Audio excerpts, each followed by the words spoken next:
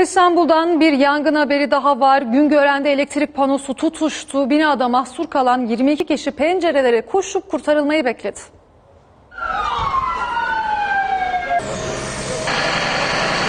Elektrik taraflarından çıktı galiba yangın.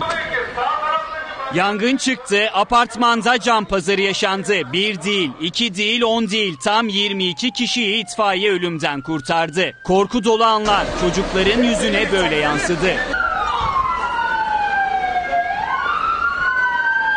Dün akşam saatleriydi. Güngören'de 5 katlı binanın girişindeki elektrik panosu patladı. Alevler yükseldi, binayı duman kapladı.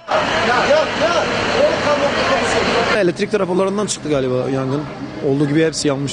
Apartman sakinleri evlerinde mahsur kaldı. İtfaiye yetişti, alevlere müdahale etti. Üst katlara merdiven uzatıldı. Aralarında kadın ve çocukların da bulunduğu 22 kişi tek tek kurtarıldı. Yangında en büyük korkuyu çocuklar yaşadı. Endişeli bakışlarla olan biteni anlamaya çalıştılar. Evcil hayvanlar da dışarıya çıkarıldı. Dumandan etkilenen iki kişi hastaneye kaldırılırken diğerleri ayakta tedavi edildi.